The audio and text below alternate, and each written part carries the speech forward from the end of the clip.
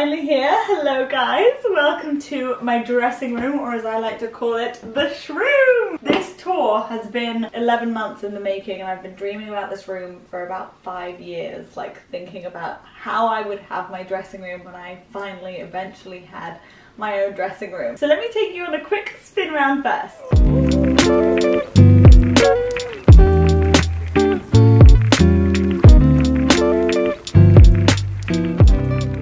Talk to you first about design. This was designed by me with Lindsay from the Rebecca Hughes team. I knew how I wanted this room to be laid out based on how I get ready. I knew I wanted clothes on one side of the room and bags and shoes on the other side of the room. What I did first was I hung up all my clothes and I measured each one hung up so that I could know exactly how much hanging space I needed, how much long hanging and how much short hanging space I needed. This just about fits. I'm going to show you inside. I need to do a bit of a clear out. Minus my coats, it just about fits, which is exactly what I wanted. Some elements that I wanted in the room was I wanted like little window seats, for example, which is right here. And I also wanted, dun dun dun, a rolling island. This island does roll, it is on wheels.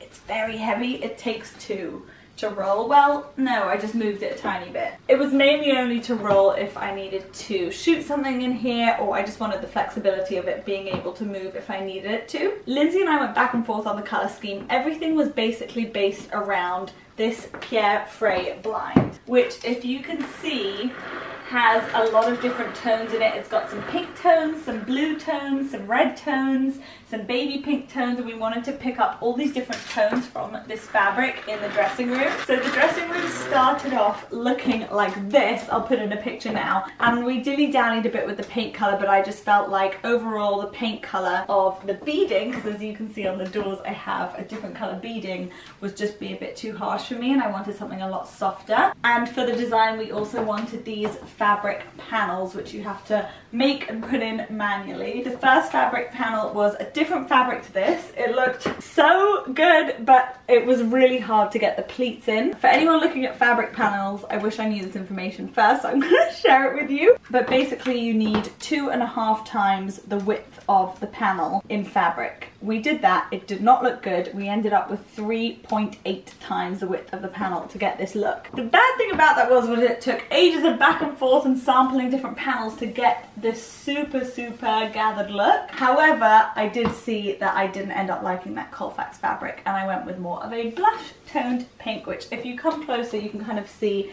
it's not a solid tone it's got all the little lines and got a bit of white in there as well. So once we finished with design and we went back and forth and I thought about loads of different elements which I'll talk you through when I give you the full tour, we put together the drawings and that went out to be quoted. The people I got to make and build my shroom was Tom and his team from McGarry Interiors. I loved them. I felt like they really understood my little elements. They did everything from the mirrors to the lighting, to the shelves, to the drawers, to the cornice, to the skirting, everything and that was something I really wanted in here because if you can see up here there is a little cornice detail up there and then also we have the skirting detail down here so I think that's the little intro that I wanted to give you. Let's show you round. On this side of the room is the best side for me. This is the bags and shoes side. I really wanted some full length mirrors. I did have a chimney running through the center of the house, like a big chimney breast. So this cupboard, which is the biggest cupboard, comes out much further, but I actually like the three different depths that we have here. I feel like it really gives the room a bit more character. So in the middle cupboard here is dun dun dun it is all bags all my cupboards have a turn on light like a sensory light at the top of them organized by charlotte kane she took literally 38 boxes and turned it into something normal clothes shoes bags everything. So she's come and organized this all for me so i can see everything which is so exciting. And i feel like i'll have fun just like playing with it and switching it around a bit. We kind of did this cupboard together because I love bags so much. Everything is done by brand a bit. So this is like Prada's here, Chanel is here, and then I have a mix of different brands at the bottom like top handle bags. So that's probably the biggest cupboard and I just love this full length mirror because it's it's more than full length, it's like double length mirror. On either side of this are shoes. Now these I wanted to be a tiny bit smaller. I just, I like the look of having different sizes and depth cupboards, especially as like a center focus. So in here is all shoes, all color coordinated. I have a lot of like sandals, mules, like little Manolos, makes it so easy to find when stuff is color coordinated. I had a toy between doing it by brand, like in my old shroom I did it by brand. Color coordination, way better. And then in here is more shoes. So black shoes at the bottom, Manolos, Manolos, Manolos, all there. I literally measured with Lindsay exactly how much space I needed for two pairs of shoes on each shelf and each shelf is adjustable. So if you look closer you can see the little holes in the shelf so you can, they're really subtle but you can adjust the shelves if you want to. I just wanted the flexibility and the option for that. On each side of my little mirrored threesome that's going on in the center of the room I have two sliding pocket doors. I really wanted the option to have display units in here. As you might notice, everything is closed off because I'm a very messy person, but these are sliding doors that I basically go into the wall. So if I wanted to have this as a display unit, I could, and that's on either side of there. So in here I just have shoes, boots, I'm waiting on a few um, boot fillers, by the way, so ignore those. A few more bags, like different variety of things in here. I think once I actually clear through and do a big sell on my Depop, then I'll probably be able to organise this a bit better. Even though it looks pretty now, I feel like it might make more sense when I declutter a bit more. This is very interesting because apart from the island and somewhere else I'll show you. This is my main drawer situation. I'm not a drawers person I'm a hanging person. I don't really know why I had these open shelves. I felt like they would show things nicely. Basically the point of these open shelves was because if I did close drawers I wouldn't be able to see the drawer at the top. But I kind of wish I had closed drawers because oh I just don't like things being open to the eyeballs you know? It just allows for mess even if it's neat like this, it still looks messy to me. Anyway, then here I keep swimwear. Charlotte literally organized everything, color coded everything. And then also sportswear is in here as well. I feel like these are the kind of things you fold. Oh, look how orgasmic this is. Charlotte is amazing. I wish you could come to my house and fold my stuff every day. Look how pretty. I mean, I've really tried to keep it like this because I just think it's just so orgasmic and nice to be able to see everything. Especially when I've literally been like living in a box for a year. There are two windows in this room and I wanted to maximize space and also make things look cute. So I have two little window seats underneath the windows. I wanted somewhere to sit in the room other than in the island. Like if I'm getting ready and someone's hanging out with me, that's kind of how I envisaged it. So there are two little window seats with drawers underneath. Now in this drawer I think is just summer things that I need to put into baskets and we're going to put them somewhere else. That was like summer sarongs. In this drawer I think I'm going to put my hair tools because I'll be getting ready in front of this mirror. I just love my little window seat so much. Like it's the cutest little place and this is a Mrs. Alice fabric. This is a Serena Fresson from Mrs. Alice fabric. She said that I was her first order of fabric. I literally got this fabric sample desperate to see if it matched with the blind which was like the touch reference point for this whole room and I loved it and it actually has a little inverse print pillow that matches. It's like a bamboo trellis and so I have those on both sides but I think the fabric that didn't work for the panels I'm also going to try and weave in somewhere here maybe with some more cushions because I, I just love cushions. maybe switch them out for a different look or maybe have, I don't know, I don't know. Let me know if you have any ideas. And then above my window seat is my pocket door potential display unit, potential hidden, total situation. So I have some boots here, some more bags, more bags. I have ugly shoes hidden at the top, which you can't see because they're ugly. like dirty old trainers I haven't got rid of yet or something. And I just love having the option of having both of them open. Like if I open this one as well, you can see from the other side of the room, like what it looks like.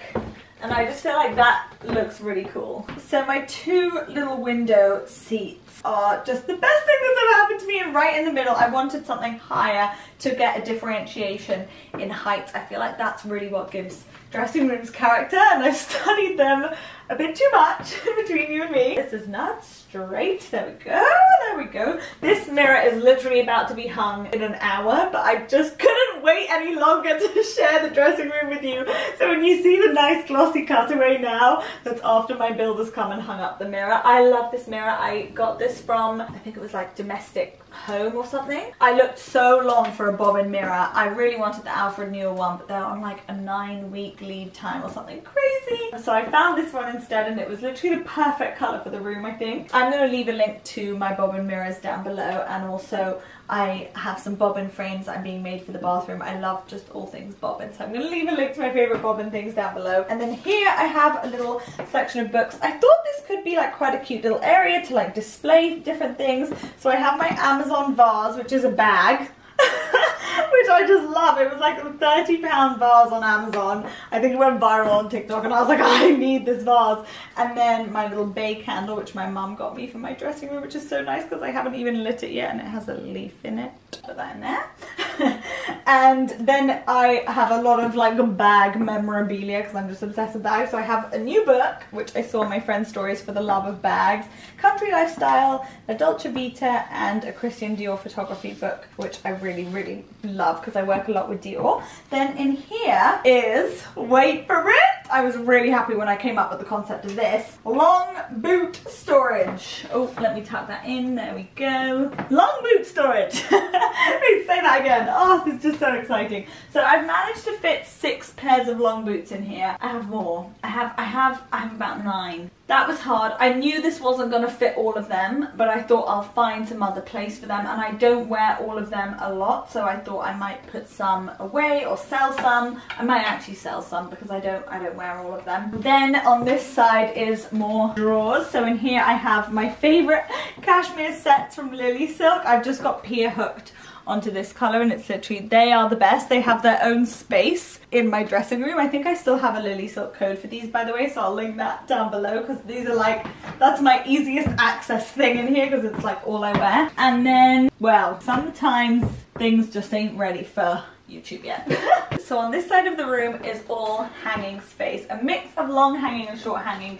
This is the first cupboard which we've just switched out with Organised by Charlotte. So we have blazers on top, color coordinated. This is probably what I wear the most and reach for the most. That's why it's like the most easily accessible. And then I have tops, short sleeve tops and long sleeve tops, bodies and everything in there. And if you look here, you can really see the rods on the panels, like these rods that kind of just slot on in. You don't really even notice that they're there. They're just pulled really, really tight on the fabric panels. This corner was a bit of a tricky corner because I wanted to maximize the space. So what Tom and the guys from Gary Interiors suggested was to have a double door here that opens out and then you just get basically that extra hanging space. I think we've probably squeezed like a meter extra in this. So I have long hanging here and then I have some summer bits and pieces. So basically what I'm putting in here is stuff that I don't need super easy access to, even if I can easily access it. It's just the least easily accessible of everything in here basically. Then this one in here is a little bit of a mini one so I have some jackets and coats in here and then skirts down below as well. This one, what do we have in here? This is jumpers and knits. I really need to weed my stuff through. I kind of wanted to get everything in and then weed out because I needed to see what I have. A lot of my stuff has been in boxes for like the best part of a year. So I honestly forgot a lot of things. And then down here is trousers and jeans. I am the kind of person that I prefer hanging stuff than folding it. I think some of these I'm going to need to fold so that they don't uh, lose their shape. I wanted to be able to see everything first. But in terms of trousers and jeans, hanging, oh, so much easier. Then in this one is another long hanging. I could have done with an extra long hanging, I think. Because this is like just about good. So this is like summery long hanging bits and pieces and then more wintry colours towards the back. Everything is colour coordinated. The island. Now this island almost killed me.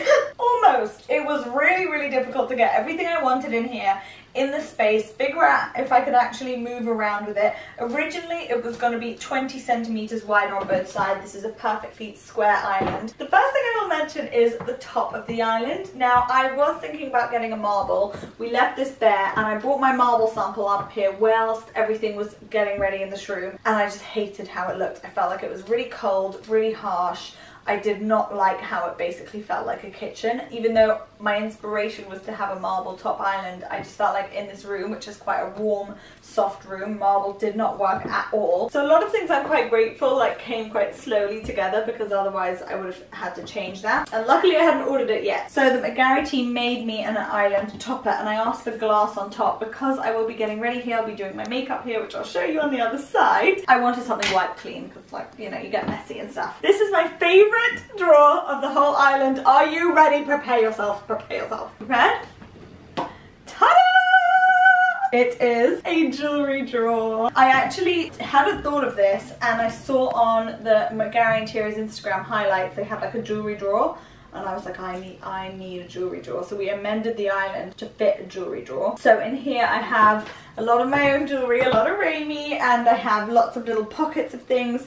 I have had jewelry like little sections on Amazon with the long hanging thing for necklaces with a little hook on top. They all get fidgety and they all get annoying. I didn't want that. I literally have squares and loads of spaces for rings and for studs. But you ain't ready for the next drawer. Prepare yourself again I know, I know you're just getting over what I just showed you, but wait.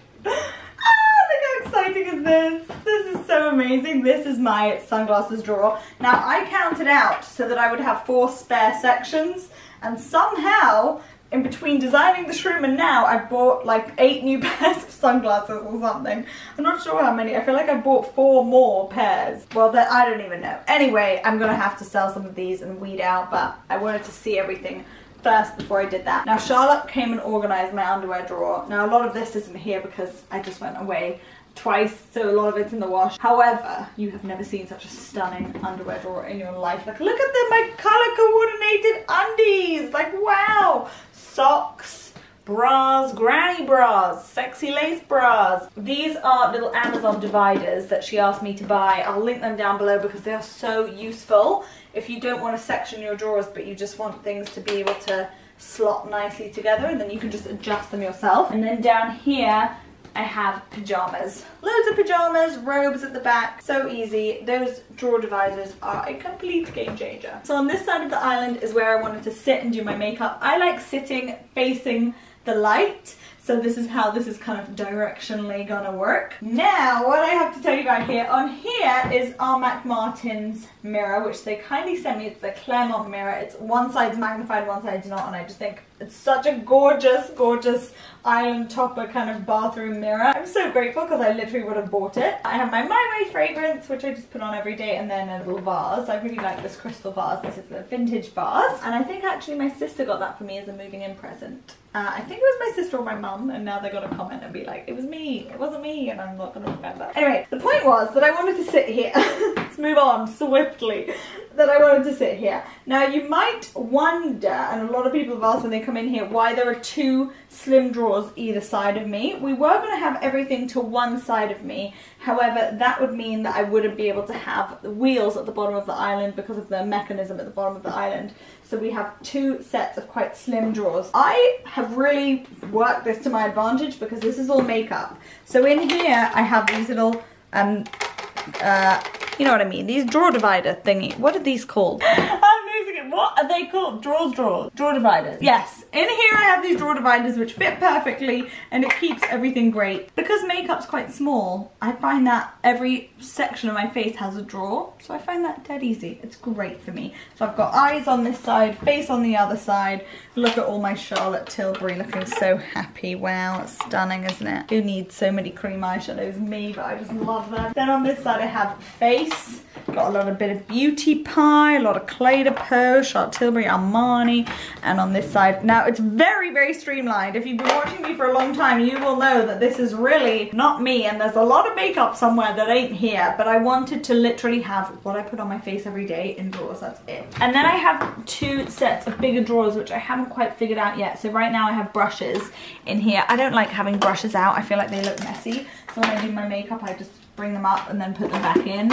I have lipstick, I have some backups. So I think once I actually go through my makeup, I might figure out a few more bits and bobs to put in there, but I like having that brush section. This little chair, I really wanted to find somewhere to fit this fabric because I love this fabric. I feel like it's so unique. It's an Ian Mankin stripe. I actually went into his shop and he is so gorgeous and so nice. John Haswell made this and Michael Williams made the uh, furniture underneath. I absolutely love John. He's made my headboard for me, he's made my ottoman for me. I literally found him on Instagram.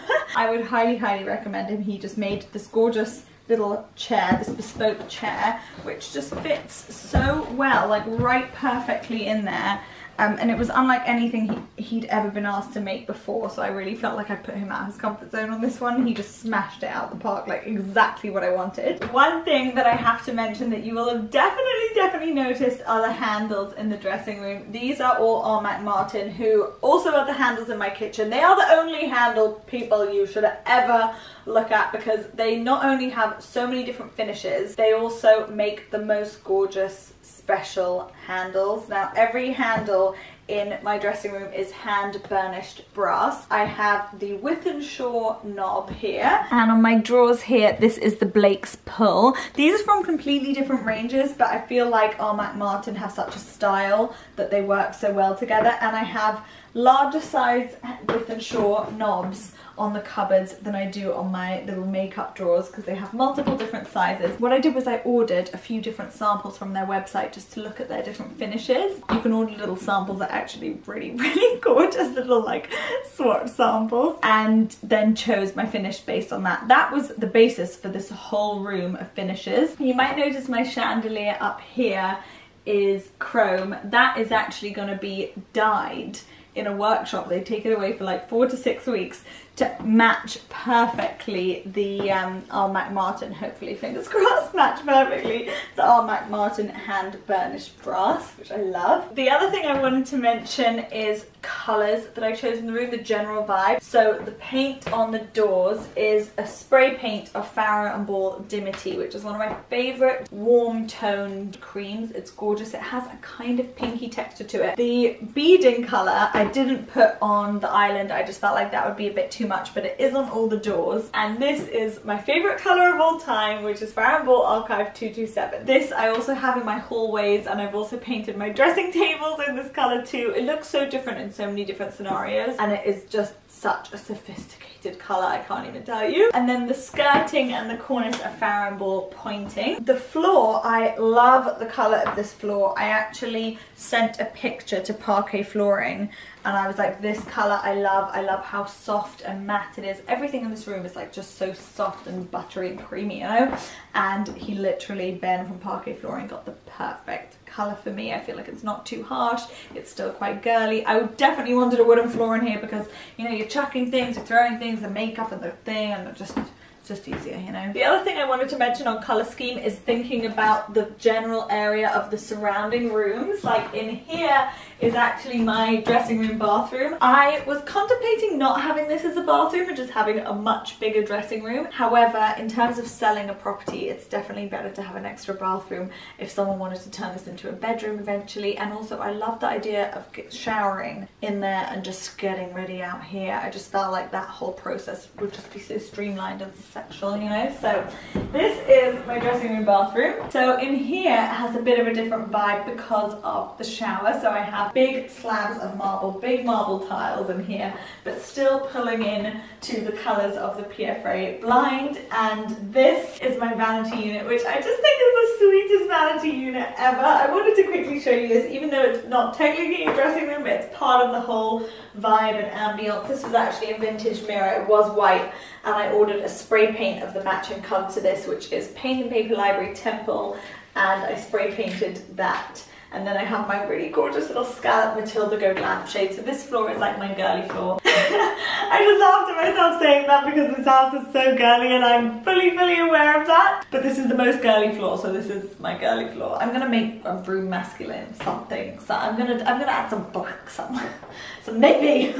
anyway, no one at me. This just got hung up literally last week. This is a triple glass shelf. I love these for adding a bit of detail in a bathroom and I love beauty products as displays. I just think that is the creme de la creme of my life. These are gorgeous little Matilda Goad towels. And then in here I have my shower. This is like a Lefroy Brooks classic shower. So I have the big shower head up there and then the old school situation here. The last thing I want wanted to mention was having speakers in the ceiling. So in here I can really pump the tunes and like do a full girly glam getting ready situation. And I actually had the speakers spray painted the same color as the ceiling. They still kind of stand out, but it's just a bit more blendable, you know what I mean? So I'm going to leave links to everything down below, including Tom and the McGarry Interiors team, organized by Charlotte. All basically the people that helped get this room to where it is now. We started the official designs for this dressing room last October, so almost, almost 12 months, like just about 11 months. I hope you've enjoyed this tour and it's given you some inspiration. Honestly, honestly, honestly, honestly, if you're designing a dressing room and you want to send me your drawings or something on Instagram and just I'll have a look at them because I freaking love it. Do that and we can just chat dressing rooms all day. It'll be so fun. Finally, I get to show you this and now I can film in here and just have the best time. So happy. Whew. Okay, we've been chatting for a really long time. I should probably go. I will see you next week. I'm probably going to do a haul next week because I just want to do something in here and organize this more and clear it out and just spend my life in here. So I'll see you then. Thanks for watching, guys. Bye.